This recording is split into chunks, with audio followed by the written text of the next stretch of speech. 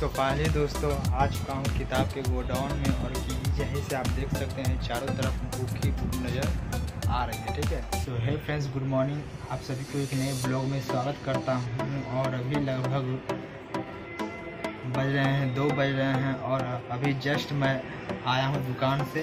और दुकान से आया हूँ तो मैंने देखा कि मेरा साइकिल जो है ख़राब यहाँ पे रखा हुआ था तो मैंने सोचा क्यों ना अभी के आप टाइम में जो देख रहे हो वो कि, कि तेल की कीमत इतनी ज़्यादा बढ़ चुकी है कि कोई भी मिडिल क्लास या गरीब फैमिली को गाड़ी के लिए तेल को अफोर्ड करना काफ़ी ज़्यादा दिक्कत हो गई है ठीक है?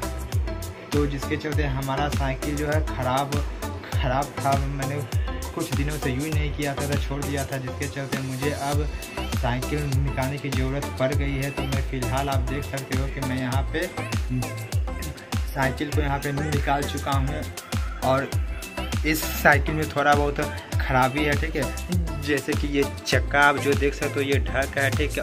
और ये ब्रेक यहाँ पे जो है फंस रहा है, ठीक है? तो ये सारी चीज़ें मुझे अभी खुद से ही ठीक करना होगा, क्योंकि मैं बाहर जाता हूँ, मिस्त्री से अगर करवाता हूँ ना, वो तो बहुत ज़्यादा पैसे ले ही लेता है और ढंग से कोई काम भी नहीं करता है। अपना साइकिल जो है ना छोटा मोटा जो भी काम रहता है, वो मैं उसे ही रिपेयर करता हूँ, ठीक है? बाकी जो पंचर हुआ, जो सब, जो मेरे लायक नहीं काम है, जिसका सामान मेरे पास नहीं है, वो सारी मैं चीज़ें वो मैं दुकान में जाकर मिस्त्री से करवाता हूँ। लेकिन जो छोटा मोटा चीज़ें वो मैं उससे ही करता हूँ, क्योंकि यहाँ पे आप देख सकते हो कि मैं यहाँ पे जो साइकिल का जो भी सामान है, वो सारा रिंच विंच जो भी है, वो सारे मैं यहाँ पे रखा हूँ।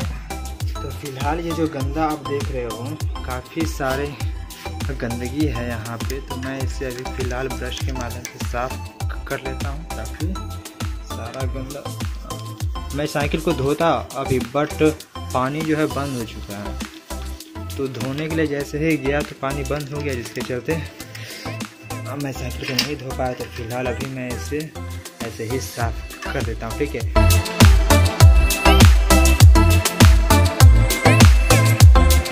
तो फाइनली दोस्तों, हमारा साइकिल जो है बन चुका है और अभी आप देख सकते हो कि मेरा हाथ पूरा काला काला हो चुका है। देख सकते हो काला काला हो चुका है और यहाँ पे आप देख सकते हो कि ये जो चीज़ें थी, मैंने यहाँ पे फिट कर दी अब देख सकते हो कि अच्छा लग रहा है देखने में। और सारे ये जो ब्रेक हमारा फंस रहा था, वो भी सारी चीज़ें मैंने ठीक कर दी है।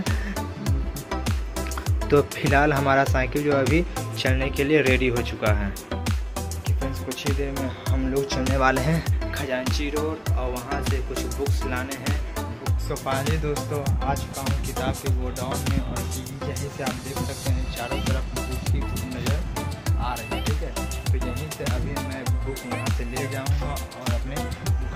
भी डिलीवरी डिलीवरी वाला बुक होगा, वो सारे को मैं डिलीवरी करवाऊँगा। तो फिर यहाँ से बुक ले जाने के बाद मैं पैकिंग करूँगा उसके बाद। कल जो है डिलीवरी के लिए बंदा जो पिकअप वाला लेके जाएगा।